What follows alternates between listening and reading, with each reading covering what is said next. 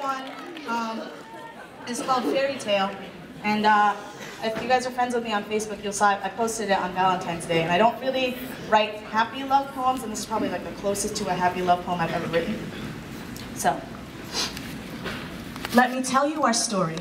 We would build an empire from the ground up because we could change the world, you and I. Circle the globe in a day and write our manifesto upon the sky. Our city's temples would have minarets and stained glass, steeples and statues dipped in gold. The mosaics on its walls would glitter, and it would instruct you to leave everything at the door and carry only your soul inside.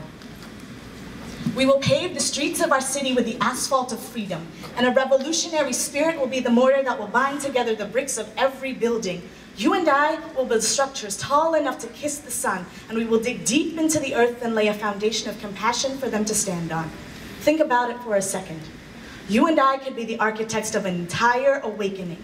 We will scale every mountain because heights don't matter. The icy altitude would be a breeze to breathe in because your presence would move the air through my lungs just as our presence could move mountains as they loom above us, set to crush the world. But we, we will hold it up together, you and I. And there will be those who will doubt our dreams, who will make our beliefs seem bleak, but we will drown out their derision with the force of our laughter. Sorry, my voice. Laughing in the face of danger, for together we will find enough courage to share with those who are kept afraid, and your uplifted voice would harmonize with mine and weave a melody for all those who are forced to stay silent. In the metropolis that we devise, there will be no nihilists, no doomsayers, or puppet masters in state halls. There will be no ghettos or shanty towns or tyrants committed to keeping us down. There will no longer be a, a system in place that perpetuates prejudice. Think about it for a second. The slums that we knew in our childhood would be after images kept alive only in history books. But wait a minute, that's not all. You will never be crushed by the weight of all your hopes, for I will be there to bear what you cannot. And whenever I am lost in the forest of my convictions, your hands will guide me down the right path.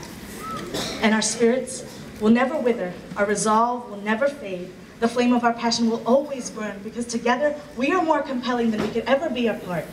This could be our story, but you have to help me write it.